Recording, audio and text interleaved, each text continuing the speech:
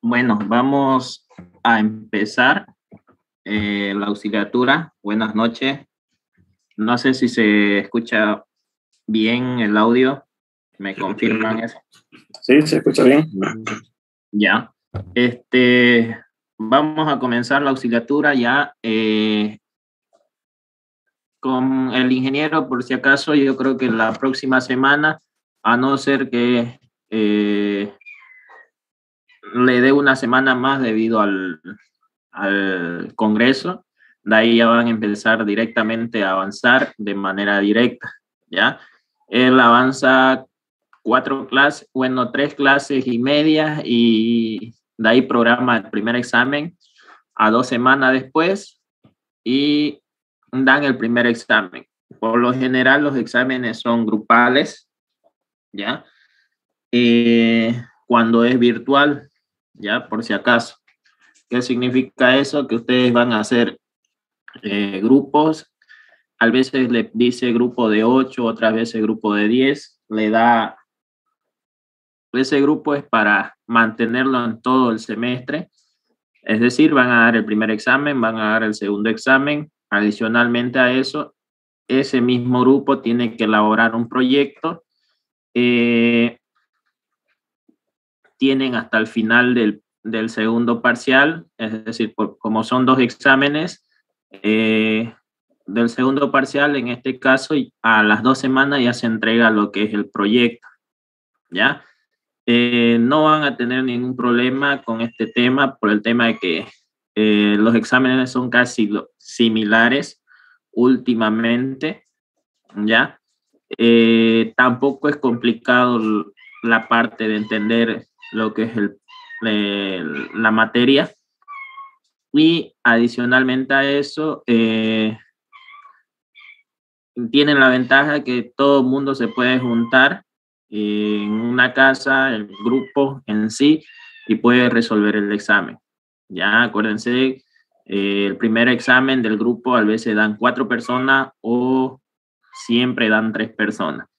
Esas tres personas que han conectadas, los demás pueden ayudarle en la manera de resolución o en la manera de copiar, como se puede decir, digamos, los ejercicios, ¿ya? Y simplemente el que está dando examen, simplemente se hace el que está elaborando, ¿ya? Y los demás le pueden ayudar. Acuérdense que simplemente se da dos horas o en mejor de los casos hora y media para que termine el examen. Una vez terminado, le sacan fotos, lo escanean lo suben en PDF al lugar que le dice. A veces lo envían a su correo o a veces a, su, a la página donde tienen la materia. ¿Ya?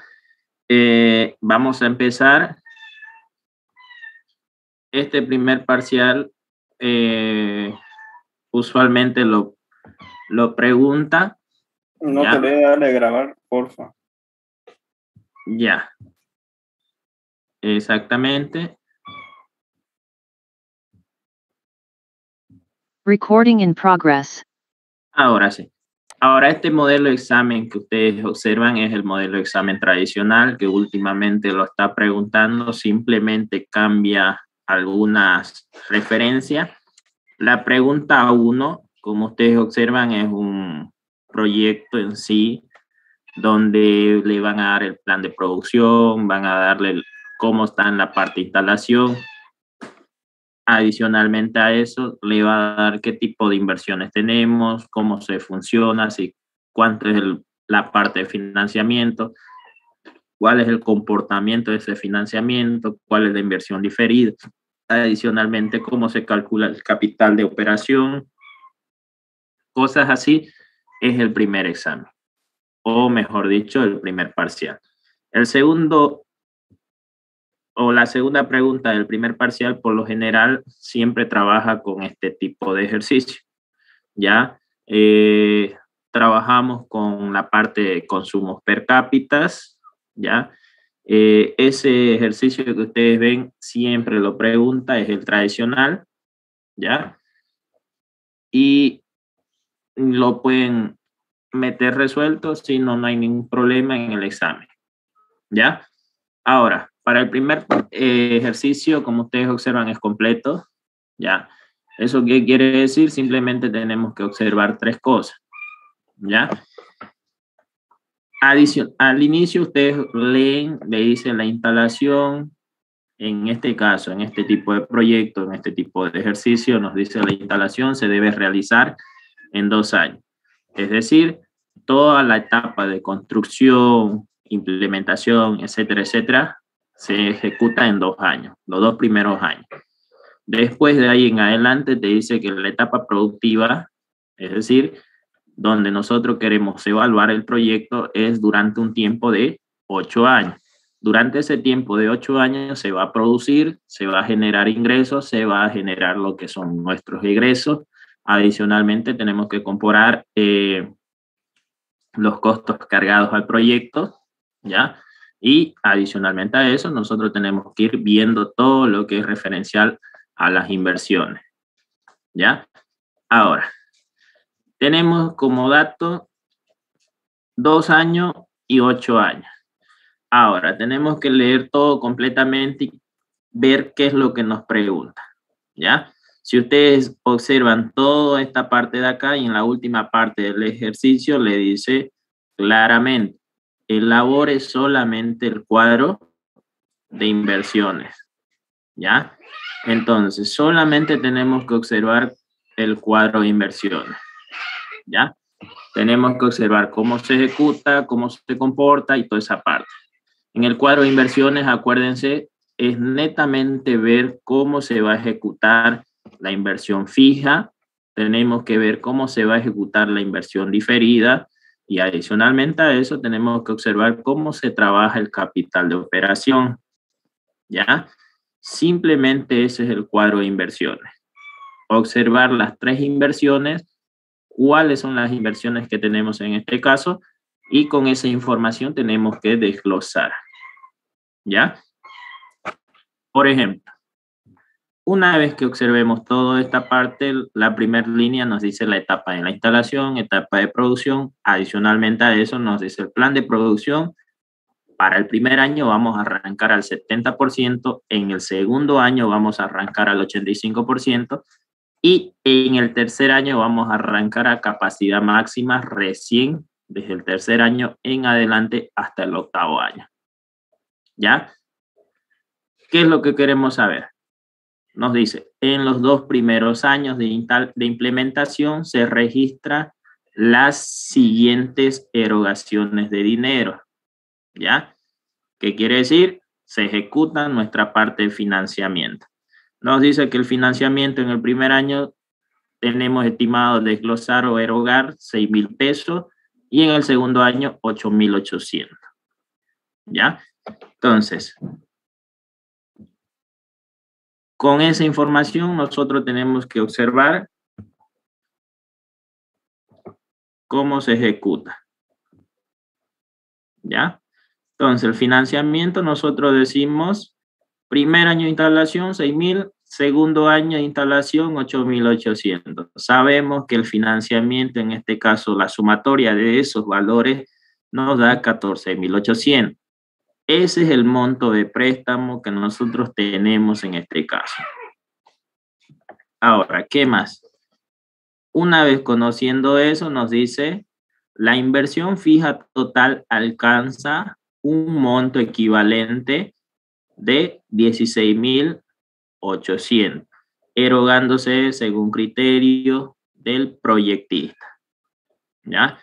Acuérdense, habíamos dicho que las inversiones se ejecutaban en tres. La inversión fija total, ¿ya? En la inversión fija total, en este caso, nos dan el valor, sí, 16.800. Pero dentro de la clasificación de la inversión fija total tenemos dos clasificaciones. Tenemos que saber cuál es la inversión depreciable y cuál es la inversión no depreciable. ¿Ya? Entonces, Simplemente por conocimiento, nosotros ya sabemos la inversión fija total. ¿No ve? 16,800. En el primer año de instalación, segundo año de instalación, en la parte de las instalaciones nosotros manejamos un porcentaje de distribución de inversiones, ¿ya? 40% en el primer año y 60% en el segundo año. Pero decimos nosotros, ¿qué pasa si no nos lo dice acá? Nunca nos lo va a decir en el enunciado cómo se ejecuta esas inversiones en la etapa de las instalaciones. Nosotros como proyectistas, nosotros siempre asumimos 40-60, es decir, 40% en el primer año de instalación y el restante, que es el 60%, en el segundo año de las instalaciones. ¿Ya? Entonces, con ese criterio, nosotros qué hacemos? Observar cómo se va a ejecutar la inversión fija total en el primer año y en el segundo año. ¿Ya? Hasta ahí le queda claro esta parte. ¿Sí? Sí. Le queda claro, ¿no? De los 16.800 que es la inversión fija total, simplemente el 40% la ejecutamos en el primer año, por ende el segundo año de instalación es el complemento. Ya simplemente estamos distribuyendo esos 16.800, que por teoría nosotros nos conviene. ¿Ya? Una vez que tengamos eso, lo mismo hacemos con la inversión diferida, ¿no? Total, que en este caso nos dice 4.000 pesos, 4.400 pesos, pero acá ya nos da cómo se va a comportar esta inversión diferida total. Nos dice que el 50% en el primer año y otra vez el 50% en el segundo año. Adicionalmente a eso, nos dice que se amortiza a cuatro años. ¿Ya? Entonces, inversión diferida total, 4.400. Primer año de instalación, 50%. Segundo año instalación, 50%. Es decir, se ejecuta 2.200 en el primer año instalación y nuevamente 2.200 en el segundo año instalación. ¿ya? Toda esa información la estamos sacando de, en este caso, del análisis o bueno, de la pregunta que tenemos, ¿ya? Después, toda esta información nosotros tenemos que observar cuál es lo que nos sirve. Ya acuérdense, tenemos que elaborar el cuadro de inversiones. ¿Ya? Ahora, nos dice que se va a amortizar en cuatro años. Vamos a observar cómo se amortiza en este caso. No hay. Bueno, pero para conocimiento, simplemente, ¿qué se hace? La amortización de la inversión diferida simplemente se agarra el total, ¿ya? Dividido entre la cantidad de años que en este caso te dice, ¿no? se amortiza en cuatro años, entonces 4.400 dividido entre cuatro años nos da como resultado la amortización de la inversión diferida. ¿Ya? Ese es un dato adicional que lo podemos calcular. ¿Ya? En este caso, en el ejercicio, en este caso que lo he resuelto, creo que no le he puesto la foto. Eso nos faltó pendiente. ¿Ya? Pero es un dato adicional, simplemente para conocimiento. ¿Ya? Ahora, ¿qué más? El ejercicio te dice se financia la inversión fija depreciable a ocho años plazo con dos años de gracia al 10% de interés y siempre manejamos pago de amortización constante. ¿Ya? ¿Conocemos la inversión fija depreciable? No, pero nos dice que se financia, ¿no? ¿Conocíamos el financiamiento? Sí, en este caso, ¿no? El financiamiento era esto más esto, ya lo habíamos calculado, ¿no? 14.800. Es decir, este monto de acá, que es el préstamo, este es el monto que va a cubrir todo el total de la inversión fija depreciable. ¿Ya? Entonces, simplemente hemos hecho eso. Ocho años más dos años de gracia, ¿ya? El préstamo, ¿ya?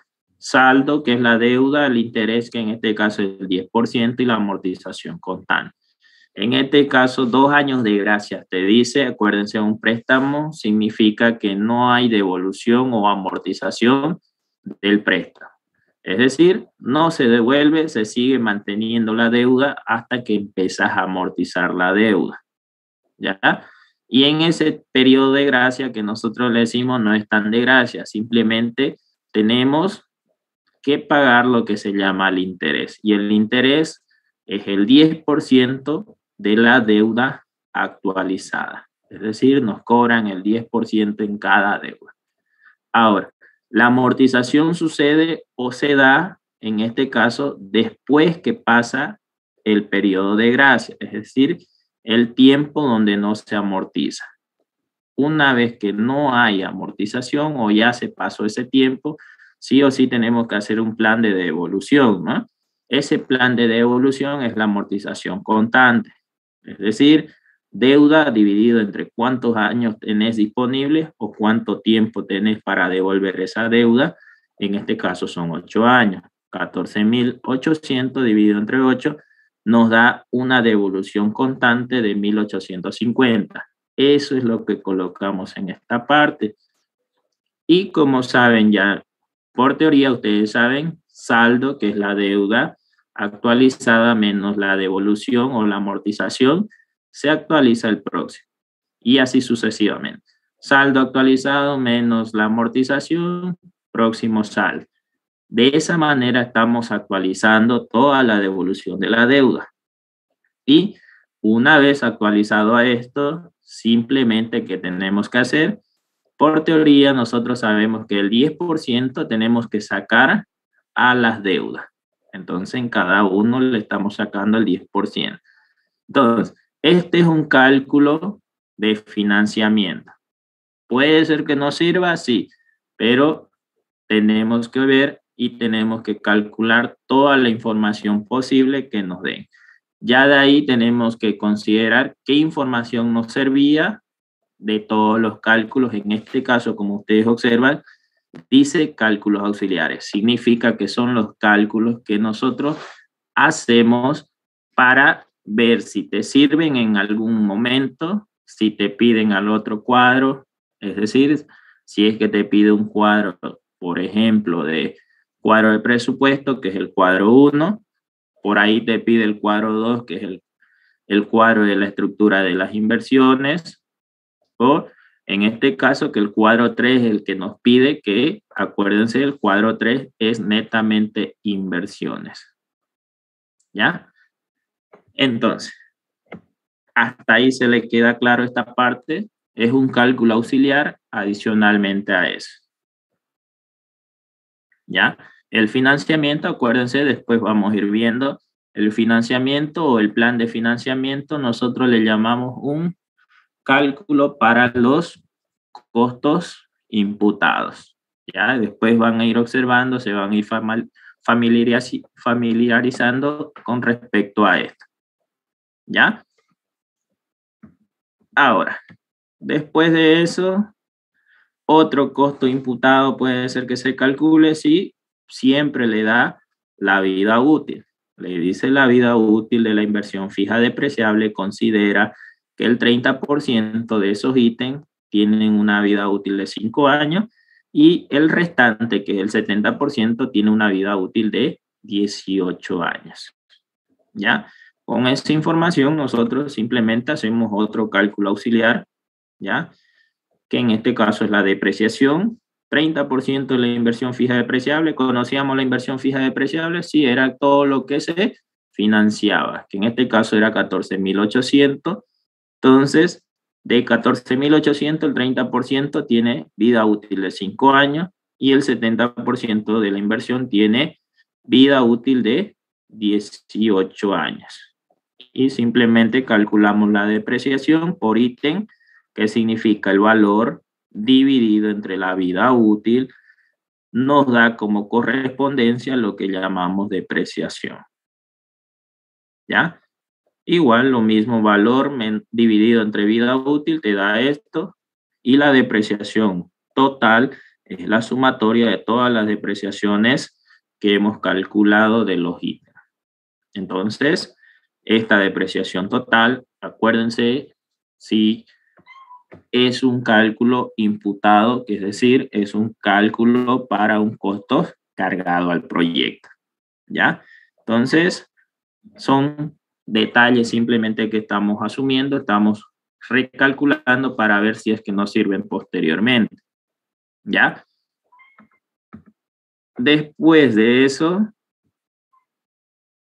de la vida útil, es decir, después de haber calculado la depreciación, nos dice cómo va a ser este comportamiento de producción. Nos dice la producción a nivel máximo es de 3.300 unidades de producto acabado en un año o un tiempo de 300 días. El coeficiente técnico nos dice que es equivalente a 2.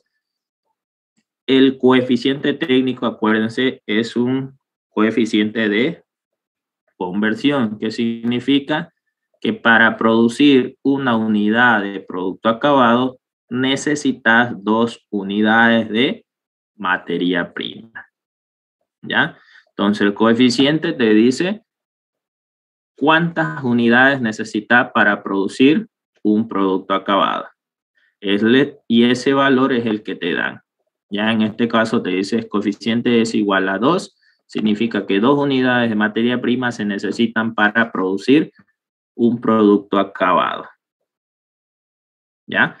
Y adicionalmente a eso te dice el precio unitario de la materia prima es equivalente a 0.8. ¿Ya?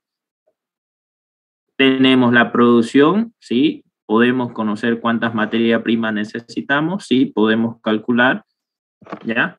Tenemos, podemos calcular las producciones diarias, sí, también, ¿ya?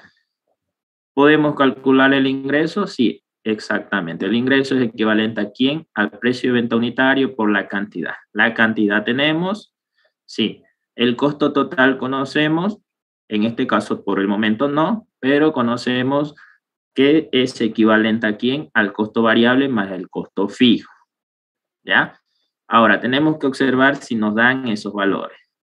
Por consiguiente, más abajo dice, los costos variables totales ya alcanzan la suma de 5.800 y los costos fijos son 6.500. Todo en ello lleva, se alcanza en la producción máxima. Es decir, cuando ya logramos la capacidad máxima tenemos esos montos. Y adicionalmente a eso te dice que los costos imputados alcanzan a 2.500 ya incluidos en los costos fijos. Es decir, de estos 2.500, tus costos cargados al proyecto equivalen a 2.500. ¿Ya? Entonces, por teoría, simplemente nosotros ya conocemos eso, ¿no? 5.800, 6.500, tenemos un costo total de 12.500. Podemos calcular el costo de producción, sí, aquí es igual el costo total menos los costos imputados. Entonces, hacemos esa diferencia Acuérdense que los costos cargados al proyecto, es decir, los imputados, era 2.500. 12.500 menos 2.500 nos da 10.000. Eso se llama costo de producción. O en este caso. ¿Para qué necesitamos todo esto? Conocer ya para calcular lo que se llama el capital de operación. ¿Ya? Entonces, el capital de operación, caja y banco, un mes X, 12 meses el costo efectivo. Ahora, esta información de dónde te va a salir siempre sale del enunciado. ¿Ya?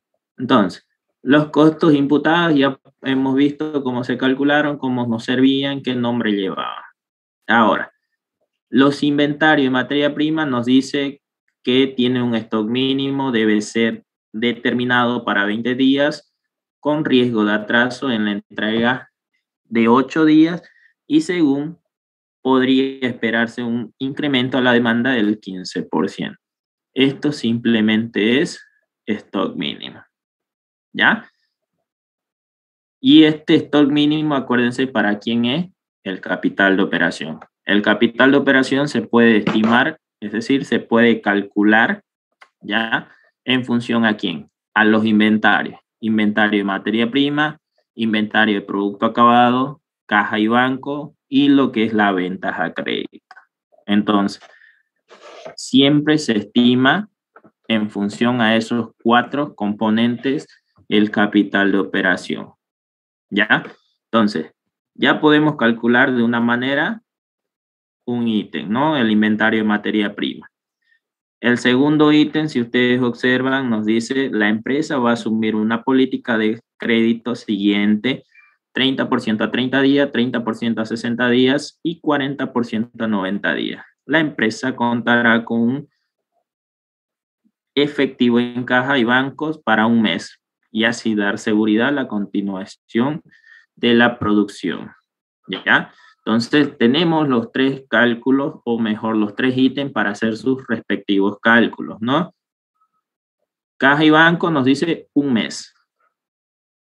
En este caso, un mes no sabemos cuánto es, ¿no? Y 12 meses tampoco conocemos cuánto es el costo efectivo. ¿Ya? Ahora, tenemos que calcular el costo efectivo. En este caso, el costo efectivo nosotros observamos que es igual al costo de producción que ya habíamos calculado acá y tenemos que sumarle el interés donde trabajamos a capacidad máxima. Ese interés, ¿dónde es? El primer año habíamos dicho que trabajábamos al 70%. El segundo año trabajábamos al 85% y a partir del tercer año en adelante trabajábamos a capacidad máxima, ¿no? ¿Por qué no consideramos esto? Se está considerando, acuérdense que son dos años de instalaciones, ¿no? Primer año de instalación, segundo año de instalación, primer año de producción, segundo año de producción y tercer año de producción, que es la capacidad máxima. Y este es el interés que nosotros tenemos que cargarle al proyecto. 1110. Entonces, esa información es lo que tenemos en esta parte. ¿Ya? capital, eh, costo de producción más el interés al momento de lograr la capacidad máxima se suman y tenemos el costo efectivo. Ahora, reemplazando en la parte de acá, ya podemos conocer cuánto es el monto de que debemos tener de caja y banco, que en este caso es 926 pesos. Ya tenemos un ítem para el capital de operación. ¿Ya? ¿Alguna pregunta hasta ahí? ¿Se le queda claro esta parte?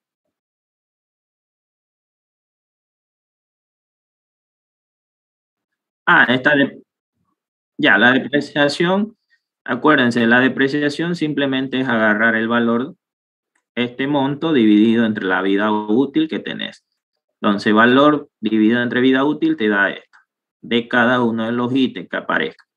Ahora, la sumatoria de esa columna es lo que nos interesa. La sumatoria se llama depreciación total. Ese valor es el que utilizamos en todos los cálculos que necesitemos. ¿Ya? ¿Alguna otra pregunta?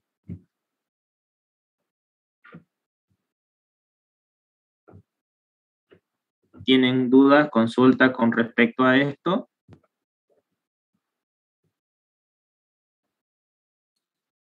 Todo bien. Ya. Y en esta otra parte donde hicimos los cálculos con referencia al capital de operación, en el primer ítem. ¿Eso lo puedes volver a explicar, por favor, lo, lo del primer ítem? Ya. Exactamente. El ejercicio casi terminando nos decía que el proyecto va a necesitar eh, para un mes de producción, en este caso, de flujo de efectivo. ¿Ya? Si ustedes observan en la parte de acá, ¿ya?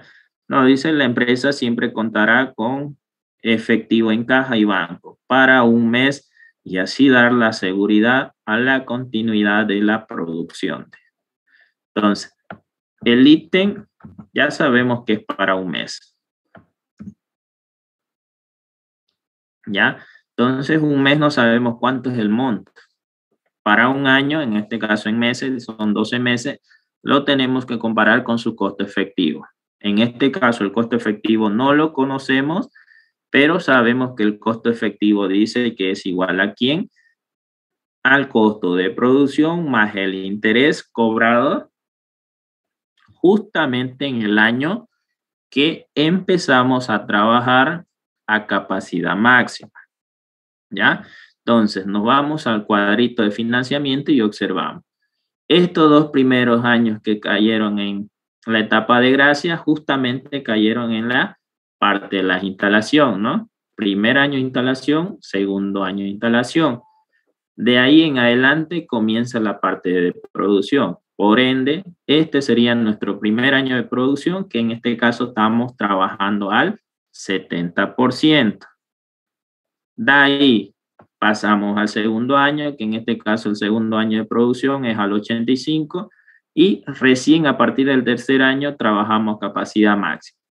En este punto tenemos que observar cuánto es nuestro cobro de interés. En este caso es 1100.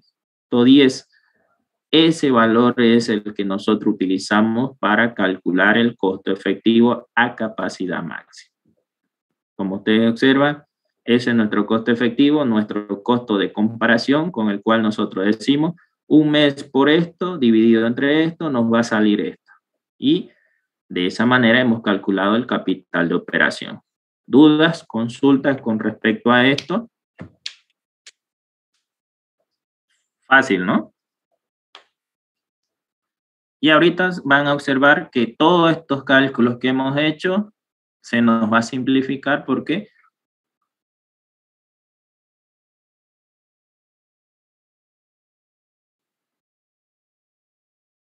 eh, por si acaso con el ingeniero trabajan con números enteros.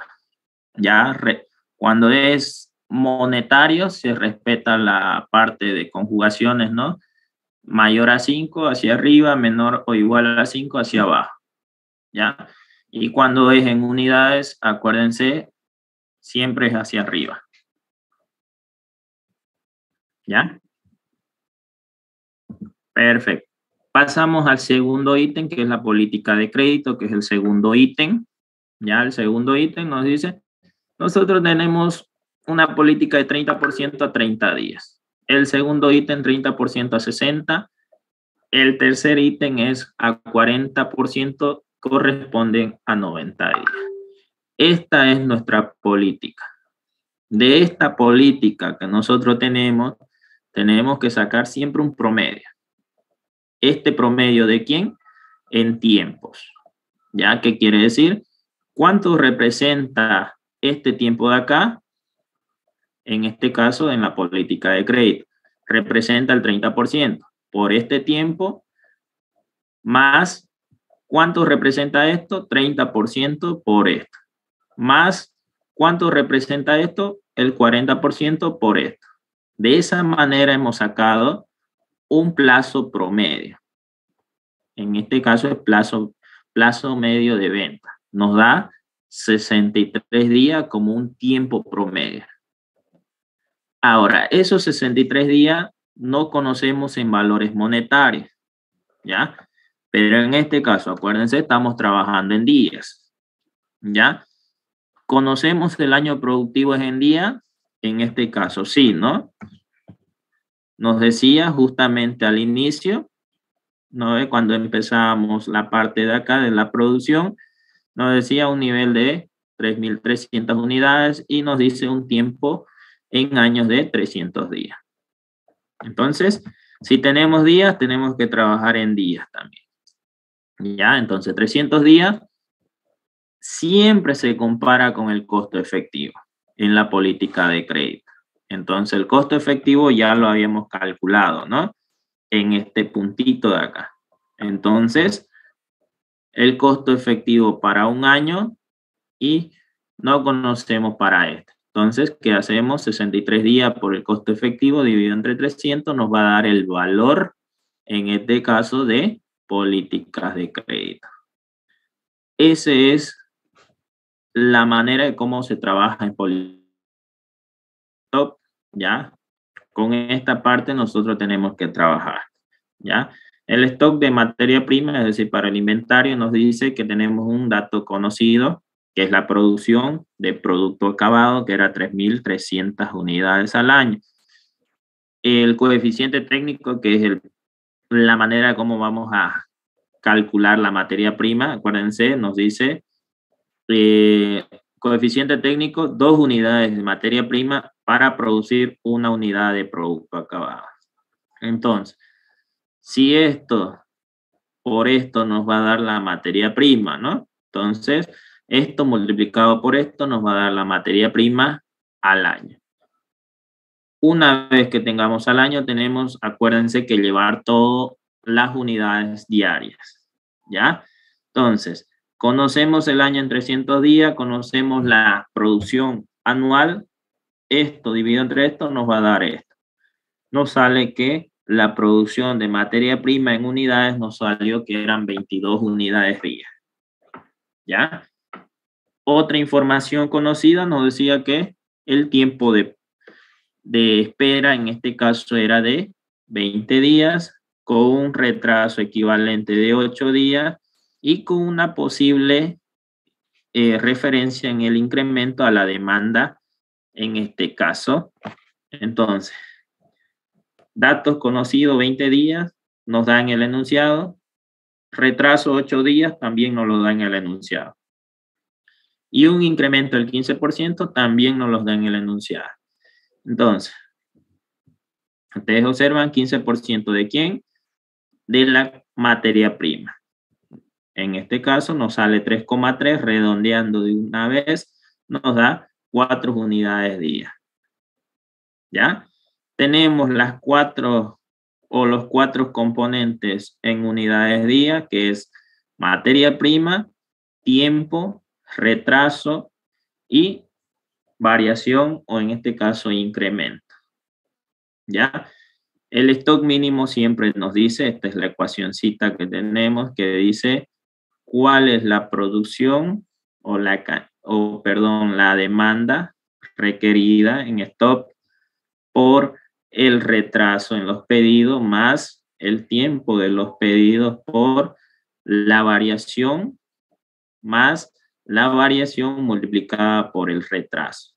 Si reemplazamos todos los valores, multiplicamos y sumamos, nos dice que el stock mínimo nos dice que es 288 unidades. Pero nosotros no queremos unidades, necesitamos en valores monetarios. Entonces, estas unidades se multiplican por el costo de almacenamiento o por el costo variable unitario. Por lo general, siempre se trabaja con el costo variable unitario, pero este valor no lo conocemos, pero lo podemos calcular, ¿ya? Entonces, el costo variable unitario es igual o equivalente al costo variable total de la materia prima dividido entre la cantidad total de materia prima. Costo variable total de la materia prima lo tenemos ¿ya? Era, en este caso, 5.800 que nos daban, ¿no? Como resultado.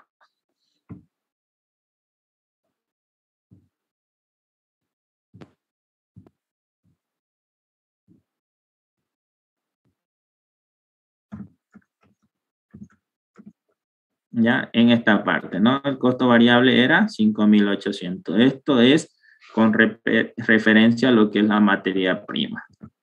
Entonces, simplemente hemos hecho eso, 5.800 dividido entre la cantidad de materia prima, que en este caso nos di, salió esto al momento de multiplicar esto por esto, ¿no? Entonces, todo ya lo tenemos en unidades al año, entonces nos va a salir el costo variable unitario con referencia a eso. Y este valor nos sirve para qué? Para multiplicar por el stock que nos salió en unidades para que de esa manera ya lo llevemos en pesos monetarios. Y con eso, una vez teniendo los tres datos, recién ya podemos calcular el capital de operación. ¿Alguna duda con estos últimos dos datos? ¿Tienen dudas, consultas? El costo variable, ¿lo puedes volver a explicar, por favor? Ya. El costo variable unitario es equivalente al costo variable de la materia prima dividido entre la cantidad de materia prima. ¿Ya? El costo variable de la materia prima, hemos asumido el valor del costo variable que nos dieron. ¿Ya? Este costo variable que nos dieron anteriormente en el enunciado, este hace referencia al costo variable de materia prima total.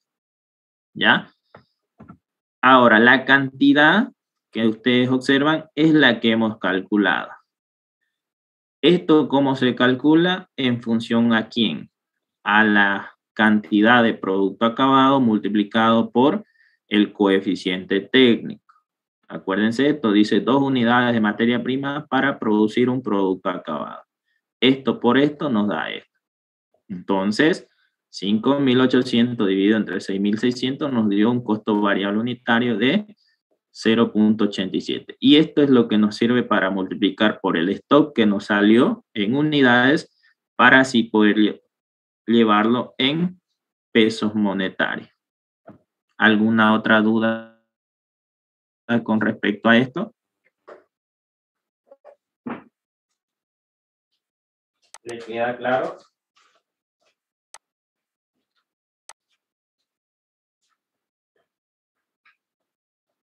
¿Le queda claro esta parte?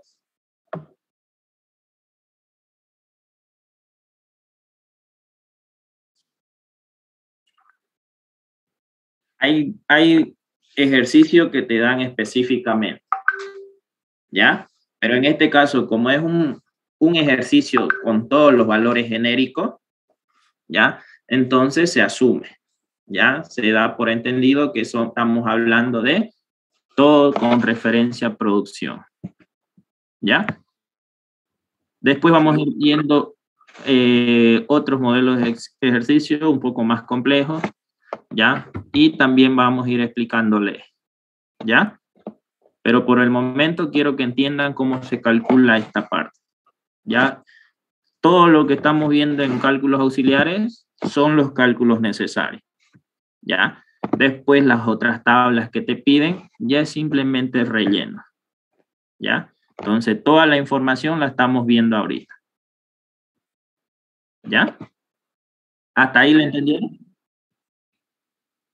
Ya. Ahora, sabíamos que el capital de operación era la sumatoria de quién? De caja y banco más la política de crédito más, en este caso era el stock de materia prima, es decir, del inventario. Eso nos da un capital disponible de 3.512.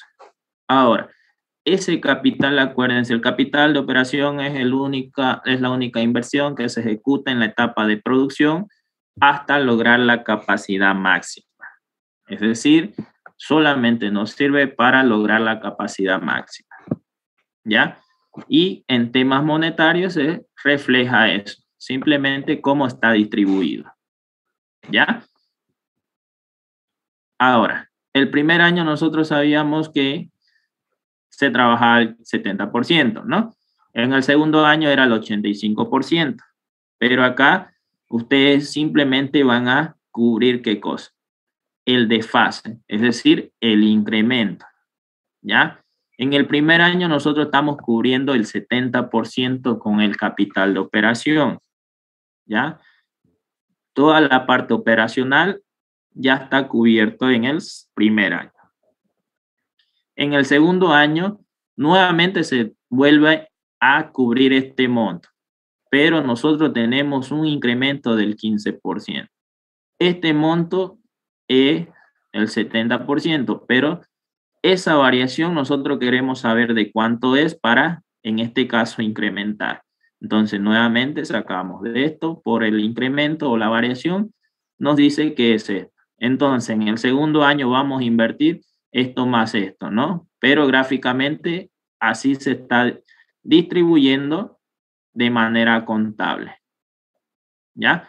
En el tercer año es la capacidad máxima, es decir, pero en el segundo año hemos logrado una capacidad de cuánto? 70 más 15 es 85%. Entonces, con este monto simplemente estamos cubriendo el 85% de todos nuestros gastos que tenemos en la parte de producción. Pero si necesitamos incrementar a capacidad máxima, ¿eso qué nos dice? Que nuevamente vamos a necesitar un incremento del 15%.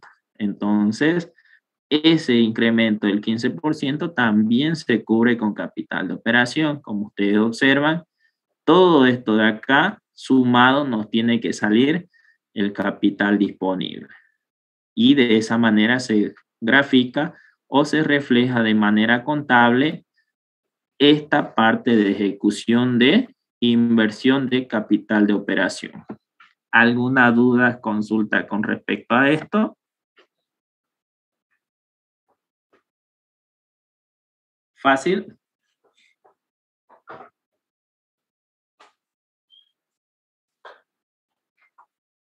¿Ya? Se le entiende, ¿no? Después le voy a pasar igual otro, otro, eh, otro Power con todas las definiciones, cómo se clasifica, qué necesitamos en esta parte, ¿ya? Para que ustedes vayan viendo la parte teórica también y ya cuando vayamos resolviendo, simplemente se vayan acordando y vayan manejando lo que, cómo se rellena. Simplemente saber nomás teoría un poquito y saber cómo se rellena las tablas. ¿Ya? Acuérdense, toda esta información que hemos visto hasta el momento simplemente son los cálculos auxiliares. Es decir, son los cálculos referenciales o bases para rellenar todo tipo de tabla. ¿Ya? Acuérdense, vamos a ver, el cuadro 1 es el cuadro de presupuesto. El cuadro 1, acuérdense, es para saber si tenemos egresos, si tenemos ingresos y para saber cómo se está cubriendo en esta parte. Es decir, necesitamos conocer la utilidad neta. ¿Ya? En el segundo cuadro, simplemente conocer las inversiones. ¿Ya? Es decir, cuál es la inversión fija, cuál es la inversión diferida, cuál es el capital de operación, cuál de esas inversiones se financia y cuáles de esas inversiones se hace con aporte propio. Simplemente ese es el cuadro 2. El cuadro 3, nuevamente, una vez observadas las inversiones, esas inversiones necesitamos saber en qué momento se ejecutan, si está en la etapa de las instalaciones o está en la etapa de producción. ¿Ya? Y en este caso, este ejercicio nos pide eso. Nos dice, elabore el cuadro de inversiones. Es decir, Fíjese cómo se va a ejecutar las inversiones. ¿Cuáles eran las inversiones? Fija, diferida y capital de operación. Entonces, simplemente era esto. Como ustedes observan, ítem año. Inversión fija, inversión, podemos clasificarla así, no hay ningún problema. ¿Ya? inversión diferida y capital de operación. ¿Ya? Entonces, habíamos dicho que el 40% se puede ejecutar acá, el 60% acá. Primer año, segundo año, tercer año y como ustedes observan. Ahora, la inversión fija depreciable nosotros habíamos visto que era, en este caso, eh, 14.800 creo que era.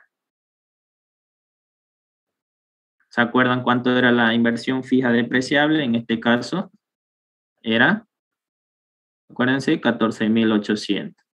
Y el monto total que habíamos visto era 16.800. Si ustedes gustan, ya en este tipo de ejercicio, ustedes directamente van y copian estos valores sin desglosarlos. No hay ningún problema. ¿Ya? pero algunos pueden ser más expeditivos, que quiere decir que esta inversión fija total la podemos subclasificar en quién? En inversión depreciable y el resto sería inversión no depreciable. En este caso lo hemos clasificado, como ustedes observan, la inversión depreciable menos esto, perdón, esto menos esto nos salía la no depreciable, que era el terreno, que en este caso es lo que hemos puesto en esta parte, ¿no? 2000.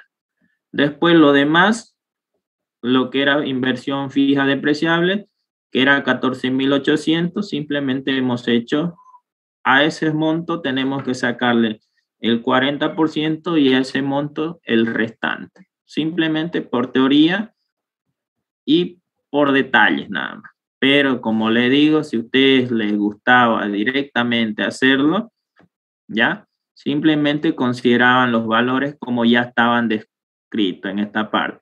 6.720 en el primer año y 10.080 en el segundo año. Ya no hay ningún problema. ¿Ya?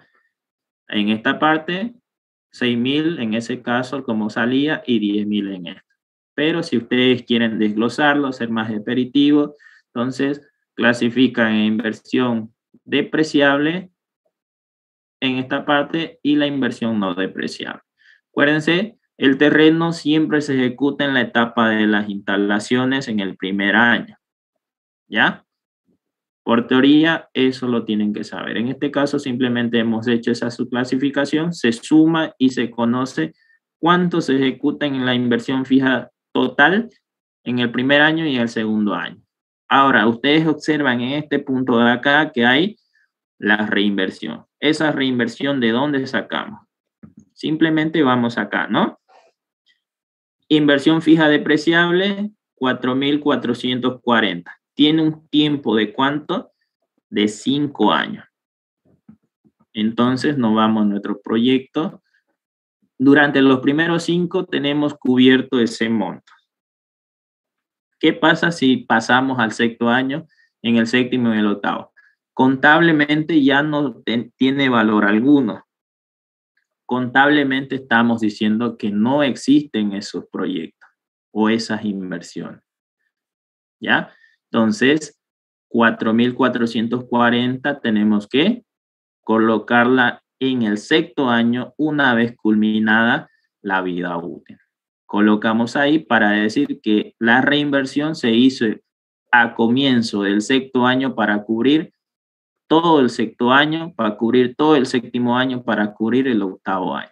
Entonces, simplemente la reinversión se ubicó en esta parte. ¿Ya? Entonces, como vamos observando, tenemos todas nuestras inversiones fijas ya destinadas. ¿Ya? La inversión diferida, acuérdense, ya estaba predestinada a esta parte.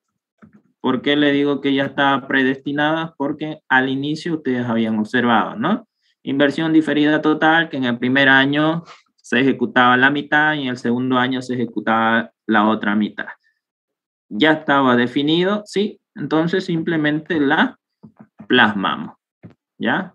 Inversión diferida en el primer año y en el segundo año. Capital de operaciones se ejecuta en la etapa de producción hasta lograr la capacidad máxima. Como ustedes observan, era esto lo que habíamos visto recién, ¿ya? Entonces, primer año se cubría el 70% de los gastos, en el segundo año se cubre el incremento, que es 527, y en el tercer año, para lograr la capacidad máxima, nuevamente se cubre el incremento, que es nuevamente 527. Como ustedes observan, simplemente hemos copiado toda esta parte. Ahora, simplemente sumamos inversión fija total más inversión diferida total más capital de operación en cada uno. Y como observan, este es el plan de inversiones. En el primer año necesitamos 10.120, en el segundo año 11.000, en el tercer año 2.458, tercer año, perdón, primer año de producción, segundo año de producción 527, en el tercer año nuevamente 527, en el cuarto año no hay ni en el quinto, en el sexto necesitamos nuevamente 4.440 y en el séptimo y el octavo no existe inversión. Como observan, simplemente ese era el cuadro que necesitábamos. Fácil, sencillo, ¿no?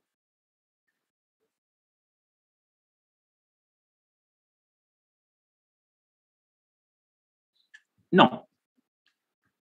Acuérdense, la reinversión que estamos haciendo es de la inversión fija depreciable. Entonces, hemos colocado en este punto, ¿no?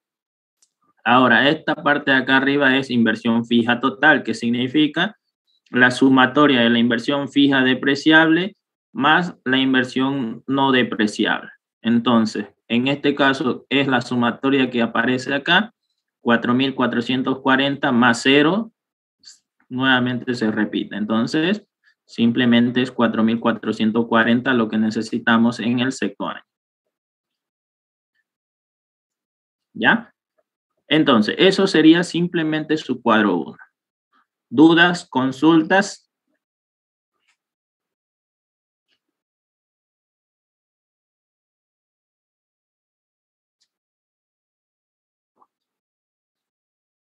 No. No. Esto está en función al, a las capacidades, ¿no? Primer año, acá te van a dar un porcentaje. Por ejemplo, ¿qué pasaría si hubiera sido 60%? Entonces, empezabas con 60 acá, acá con 85 y acá 100. Entonces, ¿qué hacíamos? El capital de operaciones multiplicado por la capacidad de producción del primer año, te iba a salir un cierto monto, ¿no? Ahora, de 60, por ejemplo, para pasar a 85, ¿cuánto es la variación? De 25, ¿no?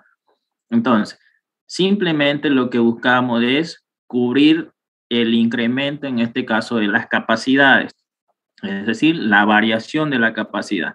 En este caso es 15% porque de 70 a 85 simplemente ha incrementado cuánto? Un 15%. Y lo mismo de 85 a 100, nuevamente se ha incrementado un 15%. Simplemente está en función al incremento de acá. Si acá era 60, de aquí a acá es 25. Y de acá a acá hubiera sido 15. ¿Qué pasa si aquí hubiera sido 70 y aquí 80?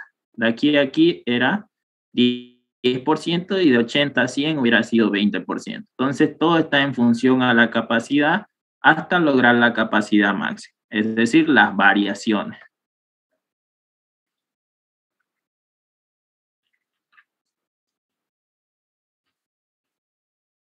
Entonces, eso sería el cuadro número uno o perdón, el ejercicio número uno con el cuadro de inversión.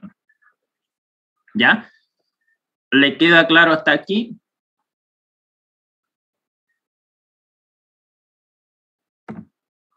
Mm. Ya. Eh, el segundo ejercicio, ¿será que lo podemos dejar para la próxima? Que en este caso lo tengo que mejorar un poco para que vayan entendiéndole. ¿Les parece? Es el complemento, es decir, no, va, no, no se va a pagar ni nada. ¿Ya? ¿Será que lo, Sí, sí, ¿están de acuerdo? eh, ¿Cuándo quieren pasarlo a la clase? Que sea en la noche para que le quede cómodo a cada uno. Eh, ¿Podemos coordinar eso por el grupo? ¿Sí? Claro, claro. ¿Ya? Entonces, queda pendiente el ejercicio número dos, es que falta complementar una parte de teoría acá para que eh, vayamos viendo y vayamos leyendo bien, ¿ya? Para que le vaya explicando paso a paso cómo se hace y le queda súper claro. Acuérdense que este ejercicio siempre lo pregunta, ¿ya? Y es necesario, simplemente es necesario que reconozcan la primera parte, es decir, la primera hoja es la clave todo esto de acá que nosotros tenemos que hacer es lo básico, ¿ya? Después ya es simplemente conjugar, armar ecuaciones, reemplazar y recalcular, simplemente ya es por fórmula, ya es simplemente lo básico. Pero la información de acá es lo que necesito yo, que en este caso rearmarle un cuadro de diálogo, saber eh, graficarle qué es lo que significa cada uno, qué significa esto de acá, esto de acá. Cada una de las variables la tengo que describir para que así se le quede un poco y ustedes ya no estén tan perdidos. ¿Ya? ¿Les parece? Sí, sí, perfecto. Ya. Entonces, aquí quedamos jóvenes. ¿Ya? Nos vemos eh, para la próxima. Ya vamos a coordinar por, por el grupo y estas cosas también se lo voy a pasar, lo voy a subir al Drive para que lo tenga. ¿Ya? Gracias, Chi. Ya, Gracias, hasta Chi. luego. Gracias, Chi.